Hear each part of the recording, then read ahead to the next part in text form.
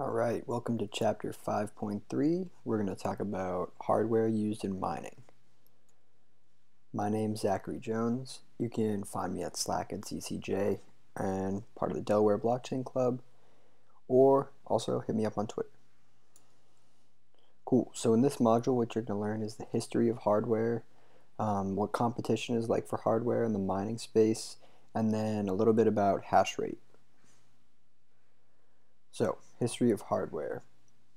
in the beginning, CPUs were used for mining. So CPU is a central processing unit. Um, they're in every computer. And in the beginning, Satoshi said, let there be only CPU mining. And we'll see how that went. Well, that's not exactly what he said, but here's what he actually said on Bitcoin Talk in 2009. Basically suggests that they have a little gentleman's agreement and postpone the GPU arms race. So he says, let's just use CPUs right now. It keeps the playing field level. We're not going to worry about GPUs. Turns out your CPU isn't ideal for mining, which he knew, but it was profitable in 2009 and 2010. Along comes GPU mining. So the GPU is a graphics processing unit and on July 18th, 2010, ArtForz's username breaks the gentleman's agreement and supposedly mines the first block with the GPU. On October 1st, the first OpenCL miner is released, allowing the masses access to GPU mining. So when ArtForz did it, he wrote his own program, um, so it wasn't really widely accessible. But on October 1st, anybody could go out and download, um, download the code and mine with their GPU. So GPUs are fast and were very good for mining Bitcoin.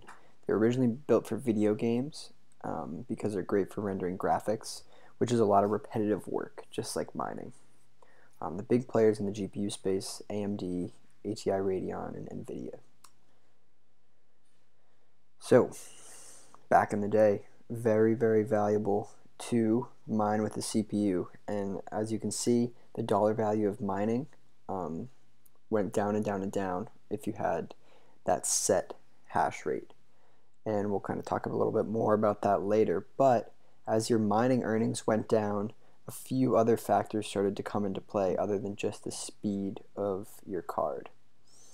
When the price collapsed in 2011, um, mining profitability went down because one, Bitcoin didn't cost as much, and two, so two power costs started to come into play as a big factor, um, uh, dictating mining profitability. The problem is that GPUs use a lot of power, and the falling price of bitcoins meant that inefficient miners were no longer profitable. Enter stage left, FPGAs. These field programmable great gate arrays were more energy efficient as you could tether together multiple cards in the same device, as you can see. So they used a lot less energy, but had a much higher hash power than just using a single GPU. And this new technology allowed for the creation of the first Bitcoin farms. So you can see dozens or hundreds of devices all in racks in big warehouses that keeps them cool and provides a lot of power and access to the internet. Um, that's when these start to come into play. And the latest innovation are ASICs, application-specific integrated circuits. The first ASICs shipped in early 2013, and since these chips were built specifically for mining Bitcoin, we saw about a 100 times increase in hash rate from FPGAs. And like I said before, they're for a singular purpose. So if you bought a bunch of ASICs for Bitcoin mining and then Bitcoin mining no longer was profitable, um, they'd basically be worthless because they're just for Bitcoin mining. So we don't expect to see another technology that gives us such an exponential bump in hash rate anytime soon. So now some of the primary determinants of profitability are power cost and efficiency of each chip. So let's talk a little bit about competition for hardware. Since Bitcoin mining is a commodity business, profit margins are very low. That means that competition is intense, and like many other commodity businesses, mining Bitcoin is only profitable at a large scale. As you can see in the picture in the bottom right, this is a huge Bitcoin farm with hundreds, probably thousands of processors all mining Bitcoin. All these Bitcoin farms use ASICs now, so they're using specific chips to mine Bitcoin, and they're all networked together and have access to cheap power. This makes it nearly impossible to profitably mine at home. As we'll get into in a few minutes, um, the more hashing power there is on the network, the harder it is for any individual miner to find a block and thus get the mining reward. So it's not really prof it's not profitable to mine at home because your power costs are just higher than your expected reward. These Bitcoin farms are typically set up in cool areas where there's cheap power. So there are a lot of them in China because of the cheap power, and then there are other ones in Iceland, sometimes like in the northwest or in like the Arctic Circle area, because it's really expensive to cool all these computers that are heating up while processing the information. So when it's colder outside, you don't need to spend as much on cooling.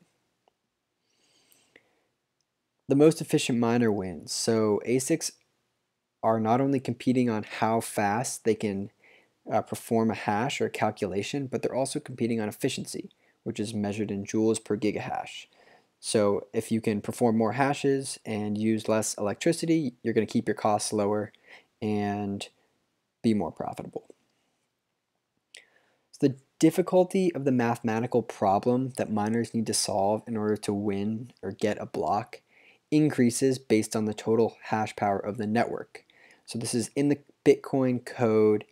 If the problem is too easy, the code will recognize that and increase the difficulty of the problem based on how many people are mining the blocks. Thus, when there's more hash power and more competition, it's much harder to get the reward. Um, hardware ROI is very unpredictable, so there are many factors that go into mining profitability. So the price of Bitcoin could fluctuate. That's a huge one. Faster hardware is oftentimes released um, over the course of months. So you could buy a new device and it might have a break even point of one year, but then three months later, a faster device comes online and then the hash power of the network increases and your device is now barely getting any payout that you expected when you did your break even calculation. So that's what I mean by more miners coming on the network. It becomes more difficult as better technology is released and more people start mining Bitcoin. Lastly, uh, we'll talk a little bit about hash rate here. So a hash is basically a calculation. It's a guess. So in the 5.1 lecture, we talked about how miners are performing some mathematical problem. They're trying to solve a mathematical problem. And a hash is just a guess. It's like a roll of the dice. And if you get it correct, you'll win the block reward. So the more hashes your unit can do, the better chance you have of winning the payout, essentially. So here's the average, the hash power of the Bitcoin network since the very beginning of it. Um, as you can see, it's like a hockey stick-like curve. It's just gone up and up and up exponentially. The network hash rate as of October 8th um, over almost 2 billion gigahashes per second. So that is the combination of all the miners in the world, and that is more 300 times more powerful than the world's fastest supercomputer. See, the amount of computing power and resources directed at the Bitcoin network is just insane. It's unprecedented. So individual miners such as the Antminer S9, which is a which is a new new device, can do about 13,000 gigahashes per second. Now this is going to run you about $2,000 and that's not factoring in any of the power costs that it's going to be taking while it's running. Buying one of these will get you about 0.0007% of all the Bitcoin mining power, so not bad. Um, and what's kind of crazy is a single S9 unit boasts a hash rate equivalent to the peak capacity of the entire Bitcoin network from its bootstrapping until mid 2012. So, as we saw in the graph before, the hash rate of the network is just going up exponentially um, year over year with new technology being released. So if you spent two million eight hundred and forty-seven dollars and forty and forty-two dollars worth of Antminer S9s, you would get one percent of the Bitcoin network hash power.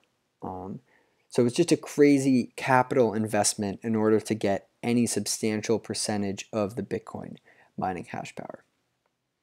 Cool. So that's the end of the module. If anybody has any questions, feel free to hit me up in the Slack channel at CCJ. Thanks.